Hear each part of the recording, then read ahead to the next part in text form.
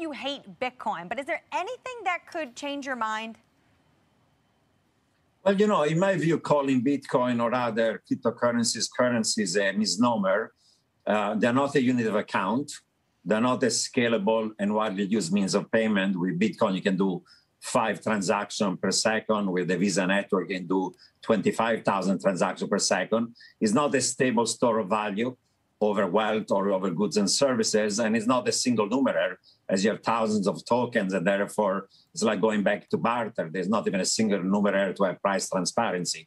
So they're not currencies, and if and when soon there'll be central bank digital currencies that are going to dominate for payment services, not only cryptocurrencies, but also private forms of money like uh, uh, deposits in the banking system or online payment services. The question is whether they are assets you know, for something to be an asset has to provide you some income, like stocks or bonds or loans or real estate. They don't provide you any income. You know, uh, residential real estate provides you housing but, services. Gold provides you not income, but uses in industry or jewelry as utility. While Bitcoin is not having any income, doesn't have any users, doesn't have liquidity services, doesn't have a utility. What's the intrinsic value of it? It's just a self-fulfilling bubble. What yes. about the central banks? You mentioned the central banks are investigating. There's more than 50 central banks investigating issuing digital currencies. If the Fed issued yeah. a digital currency, could it be a could it be one of the alpha stores of value? Would you, if you had to make a choice to own a central bank digital currency from the Fed, would you?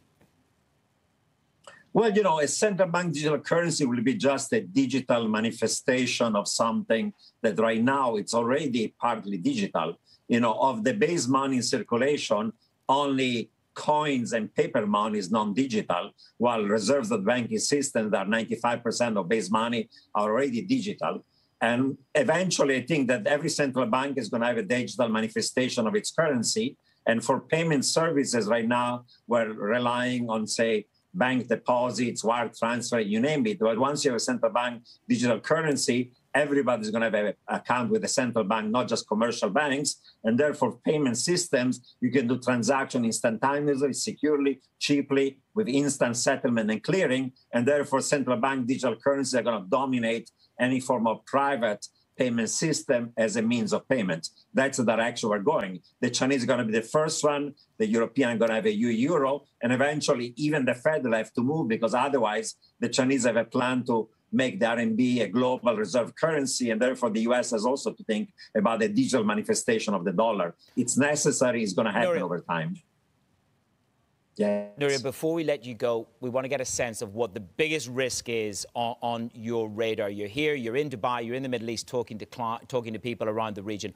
What is the biggest risk for 2021? Well, well, I would say, first of all, I think people are really starting to worry about the return of inflation and what that's going to imply for bonds and also for equities. I think that's a key risk that people are asking.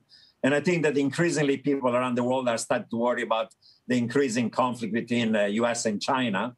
I think people are underestimating how much even something on Taiwan may lead to a military confrontation. It's a risk that is a tail risk, but it's underpriced. And US and China currently are on a collision course. There's a cold war, it's becoming colder, and I think the risk of even a hot war is rising over time. That's a serious geopolitical risk to keep in mind. It could totally disrupt economies and markets.